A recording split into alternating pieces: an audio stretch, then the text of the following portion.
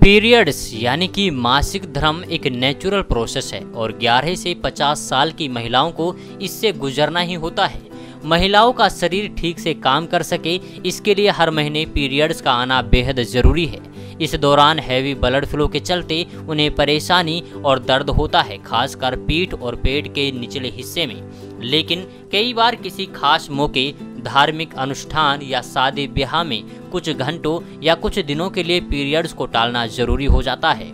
हालाँकि, बाज़ार में इसके लिए कई दवाइयाँ मौजूद हैं, लेकिन नेचुरल तरीके से पीरियड्स को टालना किसी भी मायने में बेहतर होता है। दरअसल आर्टिफिशियल तरीकों को अपनाने से साइड इफ़ेक्ट और हॉर्मोन्स के असंतुलित होने का खतरा बना रहता है।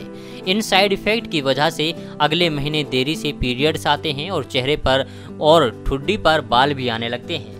ऐसे में नेचुरल उपायों को अपनाने में ही समझदारी है। इसलिए यहाँ पर हम आपको ऐसे ही घरेलू नुस्खों के बारे में बता रहे हैं, जिनसे आप पीरियड्स भी डाल सकती हैं और आपको किसी भी तरह का कोई साइड इफ़ेक्ट भी नहीं होगा। तो आइए जानते हैं उन घरेलू नुस्खों के बारे में। सबसे पहले तो आपको बता दें कि मसालेदार खाना खाने से ब्लड फ्लो बढ़ता है जिससे पीरियड्स शुरू होने की संभावना बढ़ जाती है। लेकिन अगर आप ऐसा नहीं चाहती हैं तो मिर्च, काली मिर्च और लहसुन खाना छोड़ दें। बेहतर होगा कि आप मसाले को हाथ ही ना लगाएँ।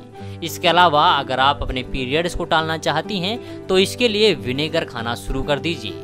एक गिलास पानी में तीन चार चम्मच विनेगर डालकर दिन में दो से तीन बार पिए, ऐसा करने से आप तीन से चार दिन तक पीरियड्स टाल सकती हैं। लेकिन याद रखिए कि विनेगर वाला पानी स्वाद में अच्छा नहीं होता, इसलिए पहले से तैयार रहिएगा।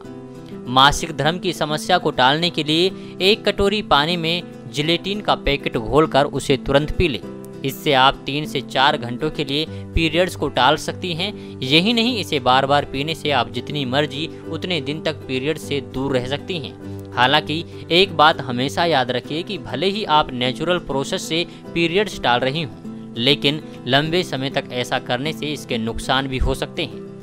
इसी के साथ ही आपको बताते चलें कि पीरियड्स को टालने के लिए आप नींबू का भी इस्तेमाल कर सकती हैं, क्योंकि इसे खट्टे फल से भरपूर मात्रा में विटामिन सी पाया जाता है। यही नहीं, नींबू पीरियड्स को टालने, ज़्यादा ब्लड फ्लो को कंट्रोल करने या रोकने के भी काम आता है। इसके लिए नींबू को चबाएँ या खाएँ। आप पानी में नींबू निचोड़ भी पी सकती हैं। क्योर एंड हेल्थ रिपोर्ट अगर आप भी बनना चाहते हैं एंकर और रिपोर्टर वीडियो एडिटर कैमरामैन या फिर स्क्रिप्ट राइटर तो हमें संपर्क करें।